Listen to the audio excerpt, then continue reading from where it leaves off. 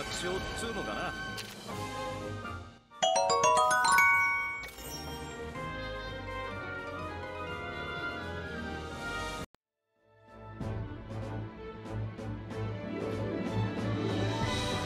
Et yo tout le monde, c'est Kissoul, j'espère que vous allez bien.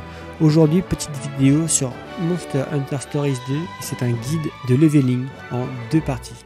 On voit ça tout de suite. Première chose, on va utiliser un charme d'entraînement, ce qui nous fera gagner 25% d'XP supplémentaire, si vous êtes évidemment au maxé au level 20.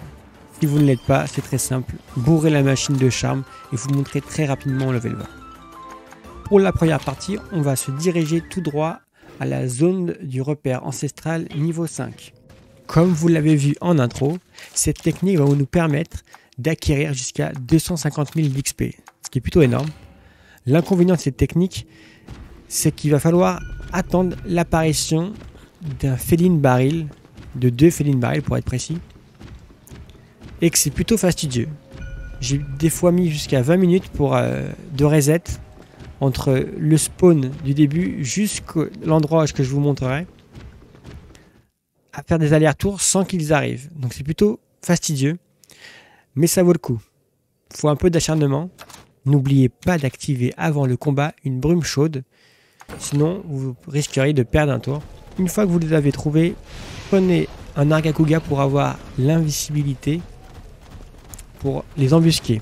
Pourquoi euh, embuscade? Tout simplement parce qu'il y aura deux félines barils et que dès qu'ils vont vous voir, ils vont essayer de fuir.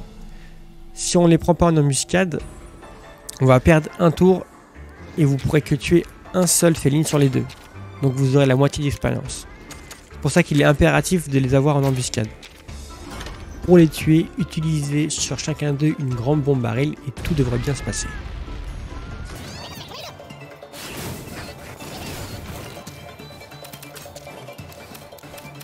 Le problème avec cette technique, c'est qu'elle est assez irrégulière.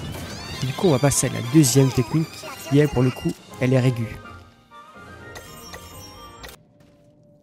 La deuxième technique consiste à utiliser le coup de grâce. Pour rappel, le coup de grâce, c'est quand votre niveau est vraiment au-dessus d'un monstre, il vous proposera de coups de grâce et ça fonctionne en une fraction de seconde. En plus de cela, ça permet de farmer les matériaux des monstres ainsi que les ennemis.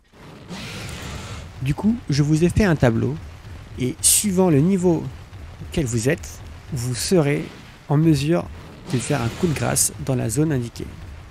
Je prends par exemple la zone 1 en repère ancestral, niveau 54. Vous serez en mesure de coup de grâce la plupart des monstres.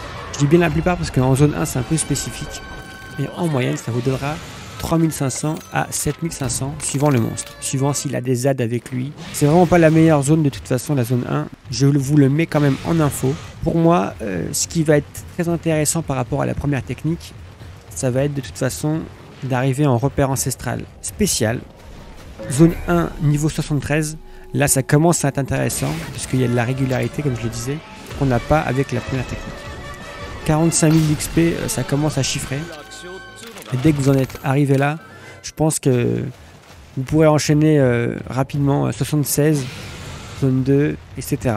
Là, ça commence à XP beaucoup et c'est vraiment intéressant. Merci à tous ceux qui ont regardé la vidéo jusqu'au bout. Si le contenu de la vidéo vous a plu, eh n'hésitez pas à vous abonner, à activer la cloche. Et pour ceux que ça intéresse, je stream également sur Twitch, donc n'hésitez pas à venir, ça me fera très plaisir. On se dit à très bientôt pour d'autres vidéos. Salut, ciao